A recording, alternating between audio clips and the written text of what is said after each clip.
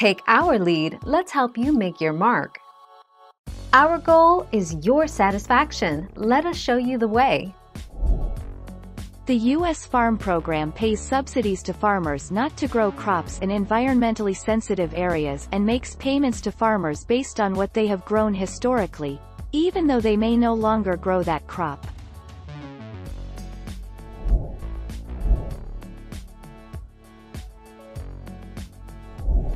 Make your mark, take our lead.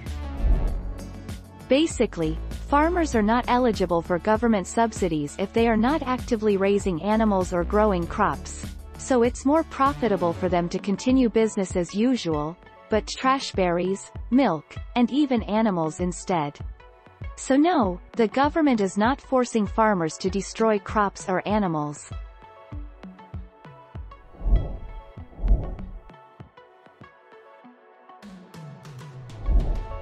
Take our lead.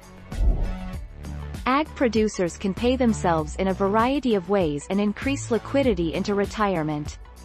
The most common way is through a W-2 wages or family draw.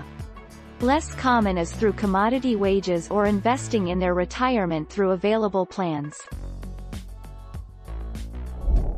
Thank you for watching. Please subscribe and hit the bell notification.